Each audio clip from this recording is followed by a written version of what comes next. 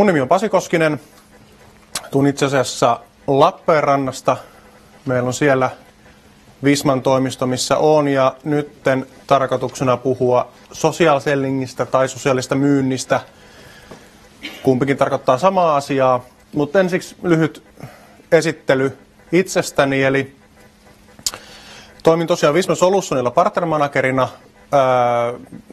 Käytännössä mitä teen, niin hankin tilitoimistoja meille yhteistyöhön NetVisorin taloushallinto piiriin ja sitten syvennän olemassa olevien kumppaneiden yhteistyötä.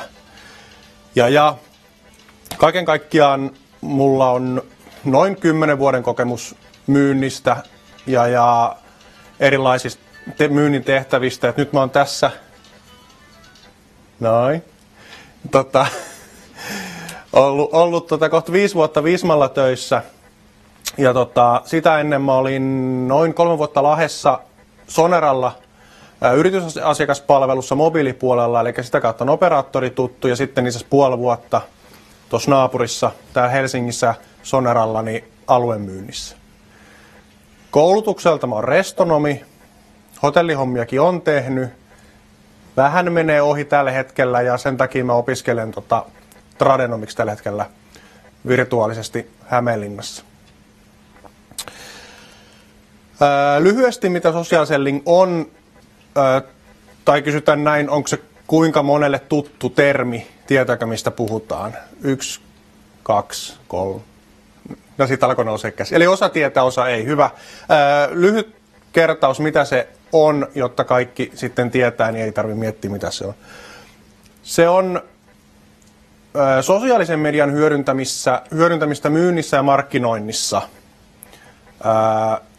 Tuossa Lassen esityksestä, jos muistatte sen, oliko se Sanni vai Sanna, joka oli ostamassa jotain ja tutki verkosta ja kysy kavereilta ja ynnä muuta, se nivoutuu myös siihen. Eli, eli tota, ää, kun puhutaan sosiaalisesta mediasta, niin se ei tarkoita sitä, että minusta tulee social selling, sellingia hyödyntävä myyjä, kun lähden vaan postaamaan tai julkaisemaan erilaisia päivityksiä Facebookiin tai Twitteriin tai johonkin muualle.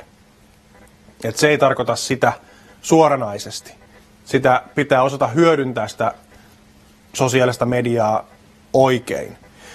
Ää, niin kuin mä tuohon laittanut, se ei poista sitä normaalia myyntiä. Eli vaikka mäkin hyödynnän sosiaalista myyntiä, niin ei se silti ole poistanut sitä, ettenkö mä soittaisi asiakkaille tai hakisi asiakkaista Googlen avulla ja soittaisi. Mutta se on vaan tuonut siihen lisän, että – Mä löydän niitä Twitteristä, mä löydän niitä LinkedInistä. Ne on mun kaksi tärkeintä kanavaa tällä hetkellä.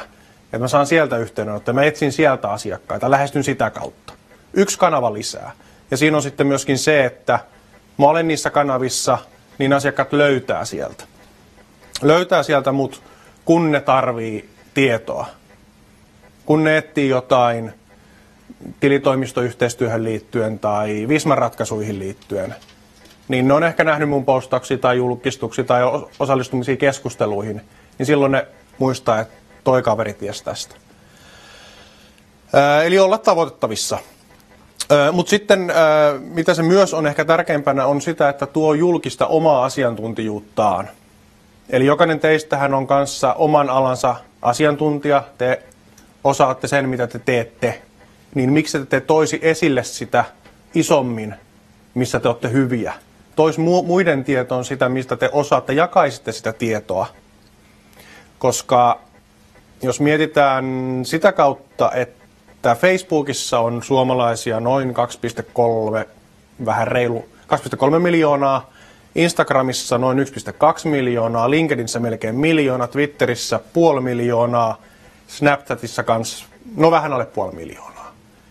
Ne on monessa näissä jo yksityishenkilöinä, mutta ne on kuitenkin aina työntekijöinä jossain yrityksessä tai omassa yrityksessä. Eli kun, missä, mitä, mikä onkaan se oma kanava, mitä käyttää, niin kun siellä tuo sitä omaa tietoisuutta, omaa asiantuntia esille, niin sehän näkyy sitten näille muillekin kontakteille, vaikka ne ei ole niin sanotusti yrityksen yritysprofiililla siellä. Kysykää muuten, ei, en äsken huomannut sanoa, niin kysykää vaan, jos tulee missä vaiheessa kysyttävää. Ää, miksi mä lähdin tähän mukaan, niin ää, se oli 2015 elosyyskuuta meille tuli Vismalla Jarkko Sööman, hän oli silloin Dinglellä töissä, niin puhumaan sosiaalisellingistä. Oma ensimmäinen ajatus oli, että mikä uusi höpötys, hömpötys tämä on. Se oli mun ensimmäinen ensireaktio, kun mä näin sen kutsun. Mutta sitten kun mä lähdin kuuntelemaan sitä Jarkon esitystä, se näytti dataa, mitä hyötyjä siinä on, se näytti muitakin statistiikkaa ja sitten se ehkä itselläni, mikä siinä kolahti eniten, oli se, että sieltä saa lisää kauppaa. No jos sieltä saa lisää kauppaa, niin on pakko itsekin yrittää. Olen kilpailuhenkinen, haluan olla se ykkönen siellä myyntitilastoissa, niin mä ajattelin, että jos mä saan yhden kanavan lisää, niin ei se ainakaan haittaa. Ei se ainakaan haittaa kokeilla. Ja tota, siinä oli toi, että halu, halu muuttaa sitä omaa tekemistä. Niin kuin tuoda uusia juttuja siihen omaan myyntiin. No niin kuin tuossa mä äsken sanoin, että se on se, niin kuin, että yksi tärkeä tuosta omaa asiantuntijuutta esille. Ja sitten mä mietin siinä, että mulla on noin 10 vuotta myynnistä kokemusta asiakaspalvelusta, myö, siihen lisäksi vielä useampia vuosia. Mä että no mulla on varmasti jotain sanottavaa myynnistä, asiakaspalvelusta, mitä mä oon tässä kokenut vuosien varrella. Miten, missä mä oon onnistunut, missä mä oon epäonnistunut ja miksi mä oon onnistunut ja miksi epäonnistunut. Ja sitten mä aloin, lähin miettimään sitä, mitä mä lähden tekemään, että mitkä on ne kanavat, mitkä mä otan. Niin, niin, no Twitter ja LinkedIn oli sitten ne, mihin mä lähin. Ja sitten mä tajusin sen ensimmäisien viikkojen aikana, kun mä tutustuin tarkemmin tähän, että meidän firmassa ei kukaan muu lähtenyt tähän tai tee sitä. Eli mä ajattelin, että no tässä on nyt aika iso potentiaali itselläni, että jos kukaan muu ei tällä hetkellä tee, niin mähän saan kaiken näkyvyyden. Ja sehän tässä onkin nyt sitten hienoa, että, että sä saat erittäin helposti näkyvyyttä, kun oot aito oma itsesi ja tuot sitä omaa näkemystä rohkeasti esille. Eli se ei tarvi sinänsä semmoista mitään kommervenkkiä siihen, että, että olemalla oma itsesi, niin varmasti tulee lisää. Mutta sitten se, mitä nyt sitten sit vähän niin kuin seuraavaksi seurasi, niin omaa verkostoon tuli ensiksi niin kuin myynnin ammattilaisia, markkinoinnin ammattilaisia, koska se on mikä kiinnostaa. Niin sieltä sitten alkoi tulee erinomaisia vinkkejä oman myynnin kehittämiseen. Tutkimustuloksia, mitä myyntiorganisaatiot on tehnyt, miten myyntivalmennuksista, mitä niistä puhutaan. Niin mä sain sieltä itse ilma, ilmatteeksi uusia vinkkejä, miten mä parannan omaa myyntiä. Ja sitten taas mä jaoin niitä omille, omalle verkostolle, niin se mun oma verkosto sitten sai myös sitä tietoa. Ja, ja sitten verkoston laajentaminen tuossa on viimeisenä, eli mä halusin niin kuin kasvattaa verkosto, halusin niin kuin saada ison yleisön. Et siinä on, kun, no kohta mä näytän vähän lukuja, mutta kun lähettiin, niin mulla ei ollut juurikaan mitään verkostoa. Lähettiin nollasta. Et se oli vähän näin, niin kuin, että ihan sama mitä mä postasin, ei sitä kukaan kuitenkaan lukenut. Niin siinä oli se, että oli pakko saada luotua verkostoa, jotta joku näkee ne mun postaukset. Mutta tärkeimpänä, miksi lähin, niin halu saada lisää myyntiä. No niin, eli lähtötilanne silloin syksyllä. LinkedIn oli käytössä, se oli näin niin kuin ammatillisessa mielessä. Toki käytin Facebookia ja Instagramia, mutta mä halusin jättää ne nyt tässä vaiheessa vielä pois. Siellä oli muutamasta kontaktia. Mä käytin sitä käytännössä käyntikorttina, eli tapasin jonkun asiakkaan tai yhteistyökumppani lähetin kutsun. Mä en ollut mistään tykännyt, mä en ollut mitään postannut. Se vaan oli. Twitter-tili mulla oli olemassa. Siellä oli ehkä joku seuras mua, mutta mä en ollut twiitannut yhtään. Otetaan pikakelaus tähän hetkeen. LinkedInissä noin 1300 kontaktia. Öö, käytän päivittäin. Julkaisut saa keskimäärin useamman tuhat näyttökertaa. Tuossa on nyt pari viikon takaa esimerkki tämän hetken isoimmasta niin kuin näkyvyydestä. Melkein 70 000 näky, näkymää saanut yksi julkaisu. tämä ehkä itselleni herätti sen, tämä statistiikka, kun nämä nyt on tullut itse asiassa ihan vasta LinkedInille, että pystyy näkemään nämä näin tarkasti niin per julkaisu nämä statistiikan. Että vaikka mun verkosto on reilu tuhat, niin silti sit on niin moninkertaisesti nähty. Eli siellä on sitten ne kakkostason kontaktit, kolmostason kontaktit nähnyt sen myöskin. Eli tavallaan kun mä julkaisen jotain, niin se ei ole vaan pelkästään se mun oma verkosto, joka sen näkee, vaan sitten sillä mun verkostolla on oma verkosto, eli se kertaantuu sieltä. Öö, Twitteri, siellä on about-seuraajia sama määrä, 1300, vähän reilu. Ja näkyvyys twiiteillä 50-100 000 kertaa kuukaudessa. Puhutaan niin yhteensä twiiteillä. Yhdellä twiitillä on keskimäärin 2-4-5 tuhatta näyttökertaa. Ja tuossa on esimerkkinä yhden twiitin näyttökerrat, että se on ollut reilu tuhat. Että tavallaan tämä siinä, että mitä tämä näinkin lyhyessä ajassa pystyy saavuttaa, kun on tietty systemaattinen tekeminen. Käytännössä lähdettiin nollasta ja nyt yhteenlaskettuna yli 2500 henkinen verkosto.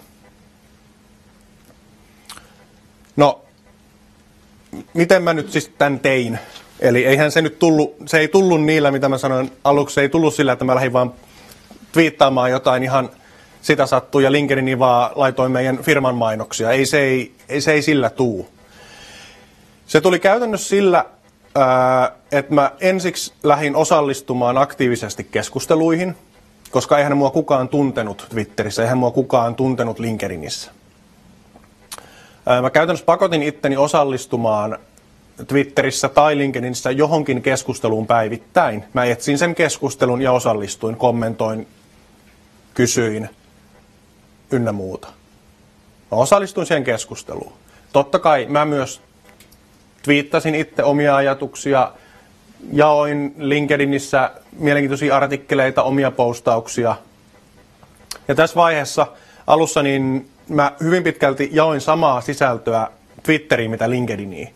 Et LinkedIn kun on ammatti, äh, am, ammatillinen sosiaalinen media, Twitter, mä en ollut siitä vielä päässyt ihan jyvälle silloin aluksi, että miten, miten se Twitter käyttäytyy. Äh, käynyt tällä hetkellä, mä jossain vaiheessa, olisiko puolen vuoden jälkeen, tajusin, että Twitter on ihan oma maailmansa ja mä vähensin sieltä sitä ammatillista julkistamista aika radikaalisti ja lisäsin televisio kommentointia ja tota, tämmöistä tota, puolivirallista päivityksiä. Toki siellä edelleenkin on niin kuin ammatillisia juttuja ja, ja tota, osallistun siellä niin kuin keskusteluun. Twitterissä on se, että siellä pystyy helpommin osallistumaan keskusteluihin, helpommin pääsee mukaan mihin tahansa, mihin kiinnostaa. Mutta mä tajusin, että se on niin kuin, äh, vapaampi. Joo. Tulee, tästä tulee mieleen tämmöinen, kun puhutaan työntekijälähettilyydestä. Kyllä. Eli vapaaehtoisesti äh, on sellainen henkilö, joka twiittailee tai on LinkedInissä ja jakaa yrityksen mm-hmm. nimissä nimenomaan, niin silloin täytyy olla vain hirveän tarkka siitä, että minkälaisella profiililla sen Twitterinkin ylläpitää esimerkiksi, että, tota, että jos se lähtee se teksti sitten kommentointimaan poli- politiikkaan tai jotain muuta, niin sitten tämmöisessä pitää olla aika varovainen. Joo, se on tuosta puhutaan paljon kanssa, että sähän olet aina tai tavallaan hän on yrityksen edustajana, on sitten Twitterissä, mutta sähän on livenäkin yrityksen edustaja tietyllä tapaa. Niin, niin e, joo, siinä pitää niinku miettiä se, että sä oot lojaali sun työnantajalle, kyllä, kun julkaisee. Mutta en mä ole sitä niinku pitänyt rajoitteena mitenkään, että kyllä mä niinku tuon omat mielipiteet julki, kunhan se ei loukkaa työnantajaa. Ja, ja se nyt on jotenkin itselle sanomattakin selvää, että tietysti jos mä tässä haukkuisin työnantajaa, niin vaikka meillä on Twitterissä nyt, niin kyllä se nyt teille ehkä olisi vähän omituista. Että et, et, se ei, niin, mä en tarkoita että välttämättä haukkua työnantaja, vaan, vaan että yleensäkin, että, että minkälainen, että jos siellä on sitten hyvin voimakasta vihakirjoitusta tai jotain muut vastaavaa, niin tämmöisestä kyllä, niin kuin Kyllä, mutta silloin sekin sitten... Niin yrityksen vastuu, että, että Joo. kuka on sitten... On, on. No se, ja, se on, ja silloin no, näitä on muutamia esimerkkejä ollut sitten, että tämmöisiä, mutta kyllä siinä sitten on se yrityksen kanssa missä on töistäni käyty se keskustelu, että miten näin, että joo, toki, mutta jos tuot omia perusteltuja mielipiteitä ja tämmöisiä niin kuin, niin itselläni öö, yhden, y, mulla on nyt tänä aikana ollut yksi postaus, mistä esimies sanoi, että voitko ottaa pois. Kun siinä, mä olin ottanut siis meidän firma, öö, toimiston seinältä kuvan, niin siinä näkyy liikaa mm, ei julkista. Niin se oli ainoa, ainoa kerta, missä on tullut, mutta aika vähän. Öö, hyvä kysymys ja hyvä kommentti. Sitten niin kuin se keskustelujen osallistuminen lisäksi, niin se oman sisällön tuottaminen. Ne omat mielipiteet, näkemykset. Ja mä rupesin samalla kirjoittaa blogia. Eli, eli tota, mä kirjoitin LinkedInin pulseen ja on sinne nyt vieläkin kirjoittanut. Eli en nyt joka toinen kuukausi ihan, mutta melkein, niin kirjoittanut sinä jo lyhyen blogipostauksen myynnistä, yhteistyöstä, tilitoimistokentästä, mikä niin kuin liippaa omaa, omaa työnkuvaa. Että tavallaan sitä kautta saada näkyvyyttä ja tuotua omaa asiantuntijuutta esille, mikä on sitten taas helppo, kun lähestyy uusia asiakkaita, prospekteja, niin laittaa sähköposti loppuun, että hei, käy lukemassa tuossa mun viimeisimmät kirjoitukset. Niin tavallaan se asiakkaat pääsee heti jyvälle omasta, mun omasta ajatusmaailmasta. Mutta jotta tämä ei niinku jäisi pelkästään siihen niinku omien postausten tekemiseen, omien päivitysten tekemiseen, niin melkein tärkeimpänä on se tukea muiden julkaisuja. Eli tuossa niin on niin laittanut sharing is caring, mikä termi pyörii LinkedInissä ja Twitterissä etenkin, niin eli käytännössä kun näet jonkun mielenkiintoisen julkaisun, jaa se rohkeasti. Jos ei se ole sun oma, niin pistä jakoon, laita siihen oma saateteksti, jos haluat, tai muuten vaan jakoon. Koska silloin, että jos sä et koskaan näin tee, niin silloin se näyttää taas vähän semmoinen, että sä haet vain omaa etua. Koska se on, mä vähän lopussa menen siihen, niin että se on niin kuin, vähän niin kuin, että kaikki hyötyy siitä. Että se ei ole niin kuin, tässä, tässä ei niin kuin pitkälle pötki, että jos vaan tavoittelee omaa etua. Vähän niin kuin kaikessa. Öö, verkoston se aktiivinen laajentaminen on yksi avainasia ollut, eli, eli tota, Twitterissä etsin mielenkiintoisia seurattavia, jotka niin kuin puhuu myynnistä ja markkinoinnista, tilitoimistoalasta, samoin LinkedInissä. Ja sitten LinkedInissä etenkin niin hyväksyn kaikki pyynnöt, mitä tulee niin kontakteiksi. Koskaan ei tiedä, mihin se yksi kontakti johtaa, jonka hyväksyt. En mä ole kaikkia, läheskään kaikkia nähnyt edes tavannut koskaan, ketä LinkedInissä on. Saatika Twitterissä. Mutta se, mä sanoin vähän tuosta sen Twitterin ja LinkedInin erosta, mitä, mitä itse lähin, niin tavallaan se, että oikean kanavan löytäminen, itselle oikea kanava, mitä, mitä käyttää. Tavallaan siihen myös on sitten se, että missä ne on ne omat, omat asiakkaat on. Et jos omat asiakkaat ei ole LinkedInissä tai omat asiakkaat ei ole Twitterissä, niin jos haluaa tuoda sitä omaa asiantunta julki, niin silloinhan se voi olla, että se on järkevämpi vaikka Facebook tai Instagrami olla. Nämä samat lainalaisuudet käytännössä toimii niissä ihan yhtä lailla. Ää, ajankäyttö, eli käytännössä kuinka paljon aikaa menee nyt sitten tähän sosiaalisen hyödyntämiseen esimerkiksi mulla, niin en mä roiku päivät pitkät tietokoneella tai puhelimella, Twitterissä tai LinkedInissä.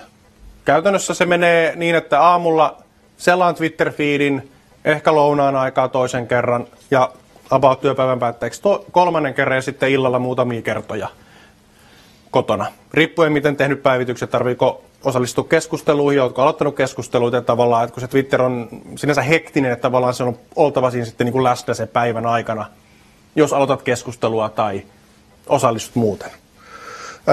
LinkedIniin riittää vähempikin aika. Ja sitten toki näihin on tämmöisiä auttavia työkaluja, missä voi vaikka Twitterin hashtagia seurata omalla selaimella, ettei tarvitse sitten miettiä, että mistä löytää sitä mielenkiintoiset, mielenkiintoiset keskustelut. Että sitä itse käytän myöskin. alussa meni enemmän aikaa itselläni, jotta sai sitä verkostoa, sai tunnettavuutta ja, ja sai sen rytmin kiinni, että miten sitä aikaa käyttää. Mutta tällä hetkellä se, en mä pysty sanoa, että kauan mulla menee päivässä, jos niin miettii työpäivää, menee LinkedIniin tai Twitteriin, koska se on osa sitä työpäivää. Se kuuluu siihen mun työrutiiniin. Se on siinä auki, vähän niin kuin sähköposti on auki. Ja mulla on LinkedIn auki. Twitteri on auki. Niin kuin, sieltä, ne, no, sieltä ne asiakkaat kysyy ihan yhtä lailla kysymyksiä kuin soittaa tai laittaa sähköpostia. Ja tästä päästäkin tähän, että mitä, mitä se verkosto on tarjonnut mulle tai mitä mä olen tarjonnut verkostolle. Niin yhteistyökumppaneista, näistä tilitoimistokumppaneista, niin mulla on siellä, ketkä Twitteristä laittaa kysymyksiä, ne vois laittaa sen sähköpostilla tai soittamalla laittaa Twitteristä. Osa laittaa LinkedInissä. Osa edelleen käyttää sähköpostia ihan niin kuin tähänkin asti. Eli tavallaan nyt että se oikea kanavan löytyminen per asiakas. Potentiaalisten asiakkaiden yhteydenottoja. On tullut Twitteristä, on tullut LinkedInissä, on se tullut suoria soittoja, että hei kirjoitit tällaisen, että keskustellaan. Myöskin toisinpäin, että kun mä oon tehnyt joku blogipostauksen, sieltä on nähnyt, kuka sen on jakanut, kuka siitä on tykännyt, niin mä oon sitten soittanut sinne tilitoimistoyrittäjät, että hei kävit tykkäämässä tästä mun kirjoituksesta, tavataanko? Ja siitä lähtenyt keskustelu eteenpäin.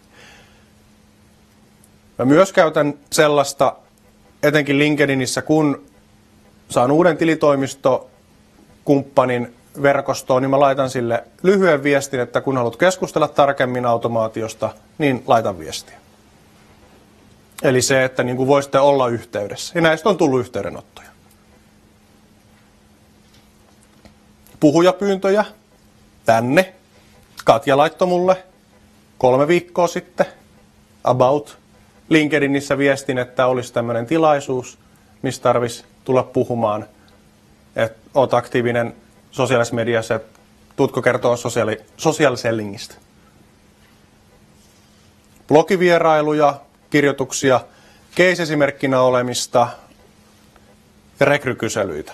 Rekrykyselyitä sekä niin, että mulle on tullut rekrykyselyitä, että kiinnostaako työt, mutta on myöskin silleen, että työnhakija on ollut muhun yhteydessä, että häntä kiinnostaisi tulla Vismalle töihin, kun teillä on, että olet ollut itse aktiivinen, että minkälaisia positioita teillä on auki. Ja sitä kautta sitten osannut ohjata oikein, että niin kuin molemmin puolin. Äh, ihan yleisesti kaikenlaisia yhteydenottoja. Visma, Vismakin on iso talo, niin on tullut sitten, että hei, en tiedä kehen olla yhteydessä. Että sä oot Vismalla töissä, niin osaisitko selvittää, että kehen olla yhteydessä? Lyhyt viesti. Näitä on tullut LinkedInistä Twitterissä. Mutta sama itselläni on tullut. Et, niin kuin sanoin, mä opiskelen tuossa Tradenomics, niin tota, oli yksi koulutyö, missä piti markkinoinnin automaatiosta tehdä tehdä suunnitelmaa ja siihen joku oikea mainostoimisto esimerkiksi. No mä muistan, että mulla oli yksi keissi ollut viime kesänä, missä oli yksi mainostoimisto ollut mukana Jyväskylästä. Ja tota, sen toimarin kanssa silloin oli käyty. Okei, ei, ei päästy kauppaan asti. Silloin mä olin tilintustokumppanin kanssa siellä käymässä. Mä muistan, että siitä hyvä fiilis. Mä laitoin sille LinkedInissä viestiä, että olisi tämmöinen keissi. Voitko ottaa? Joo, totta kai. Mitä sä tarvit? Eli koskaan se verkosto ei voi olla liian iso.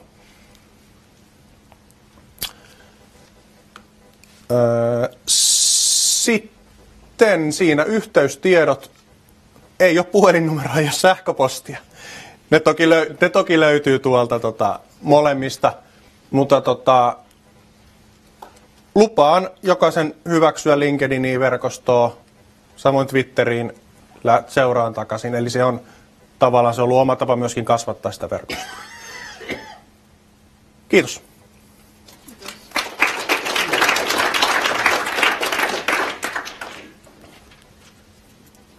Tähän vaiheeseen kysymyksiä. Joo.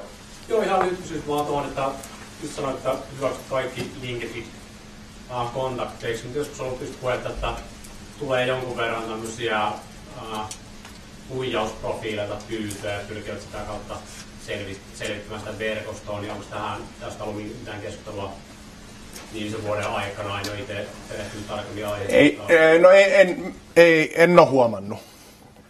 Tai sitten on naamioitunut niin hyvin ne huijausprofiilit, että minä en ole tajunnut, että ne on huijaus. Mutta ei, ei, siis ei. En, en ole itse huomannut.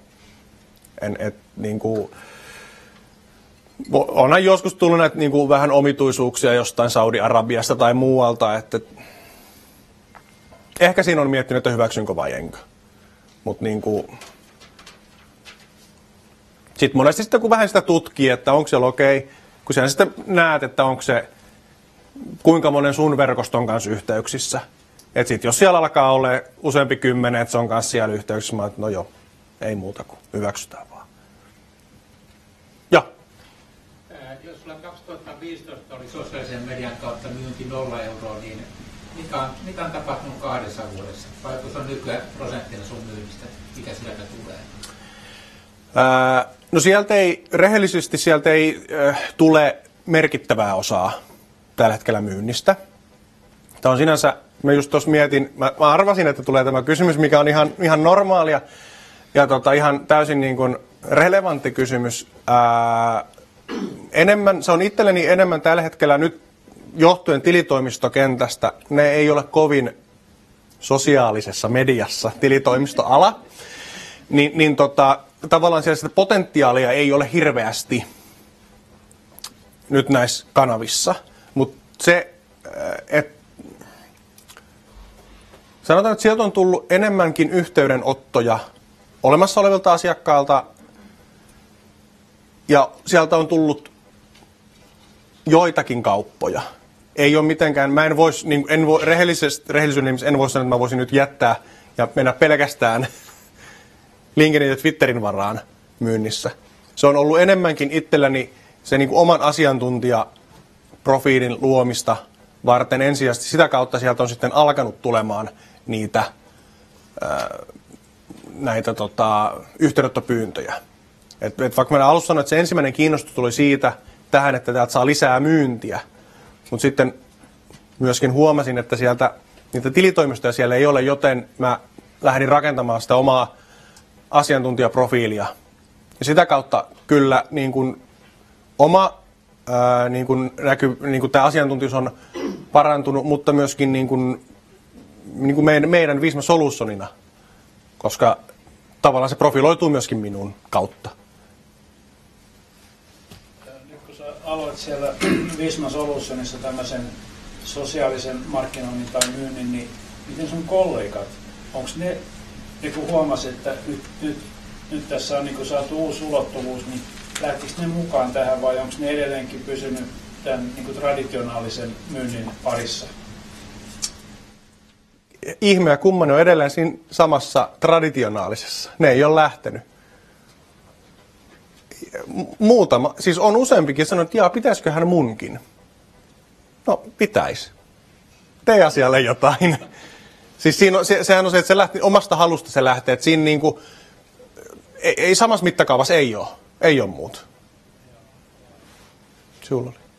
Mä kysyisin tätä, että kun kuitenkin Facebook ja Insta on paljon laajemmat Kyllä. verkostot, niin miten, millä perusteella sä valitsit LinkedIn ja Twitter?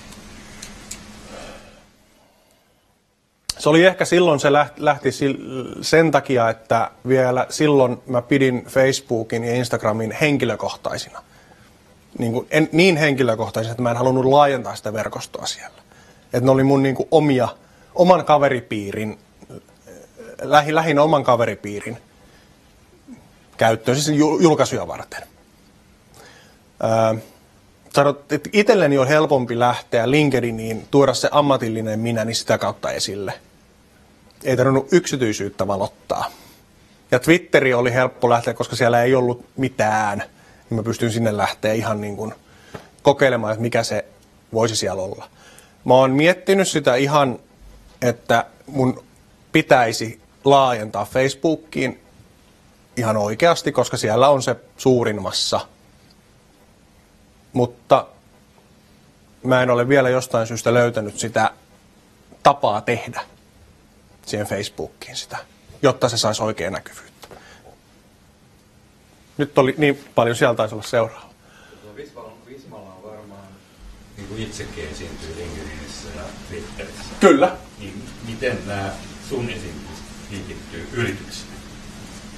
Tarkoitatko siis, että kuinka paljon mä jaan yrityksen sisältöä vai että kuinka paljon yritys jakaa mun sisältöä vai molempia? Niin. Ää- Ja miten ne tukee toisiaan? tukee hyvin toisiaan, kyllä. Eli tota, kun Visma julkaisee jotain, on se Twitterissä tai LinkedInissä, niin kyllä mä joko jaan tai tykkään, mikäli se on semmoinen, mikä on mun mielestä kiva jakaa tai tykätä.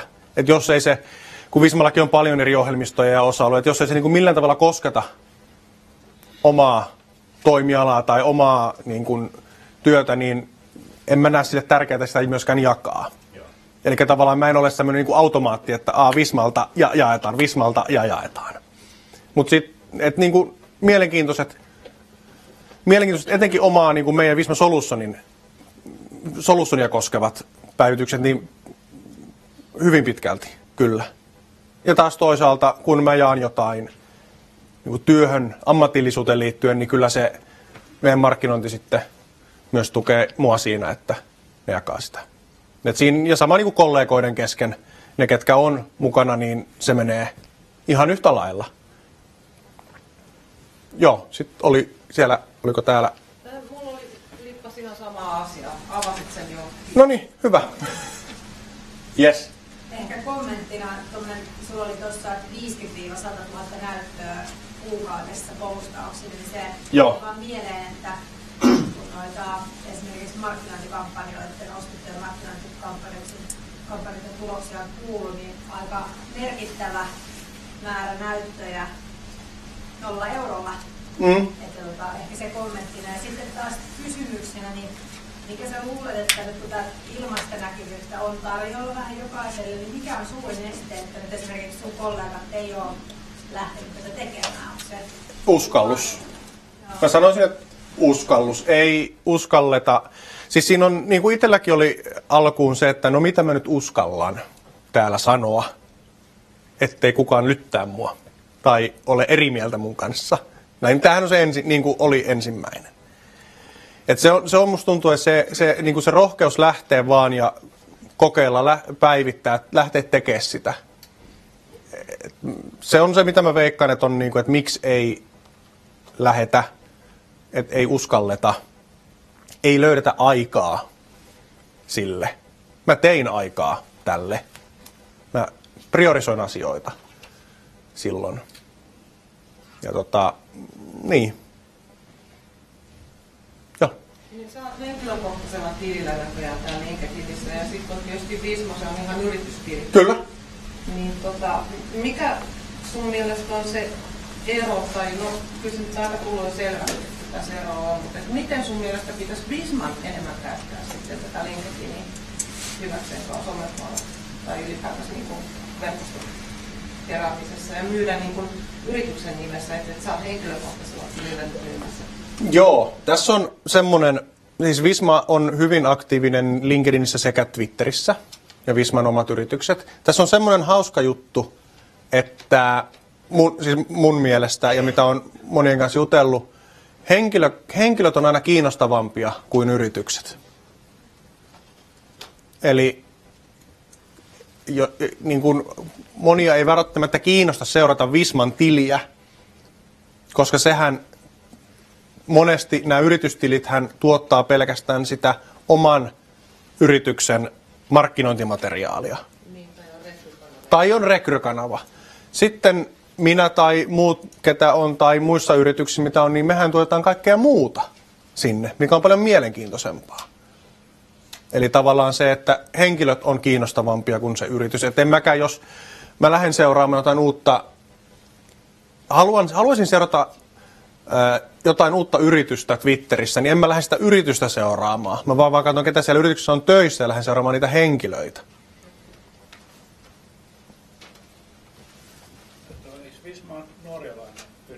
Kyllä, Ja osti Suomesta, niin aika montakin. joo, niin kaikki joo. Todella monta. niin, niin, onko se perillä siitä, että onko näitä ollut samanlaisia Norjassa ja Ruotsissa vai onko tässä joku... En, en, itse asiassa en tiedä. Nyt, nyt täytyy rehellisesti sanoa, että en tiedä, että et mikä se on näiden, näiden erona. Mutta jos katsoo niin kun, niin, jos, joskus yrittänyt tätä statistiikkaa katsoo LinkedInissä tai, tai Twitteristä, niin kyllä on aika korkealla siellä itse, niin kuin Visma-tason tasollakin. Joo, Joo. hyvä esimerkki tuosta yrityksen ja yksilön välisestä erosta kiinnostavuudessa on osuuspankki ja Veijo Karhina. Jos Kyllä. osuuspankin fiili, se on ihan tappava tylsää. Mutta Karhisettettyä kyllä jaksaa. Nimenomaan. Et siis siinä on niin iso ero nämä kahdella. Ja siellä OPlla on varmaan, en, en, en, oikeasti en tiedä, mutta siellä voi olla sisäinen kilpailu, että kuka saa enemmän seuraajia kuin Karhinen. Onhan se hienoa, että sulla on enemmän seuraajia kuin pääjohtajalla. Toisaalta.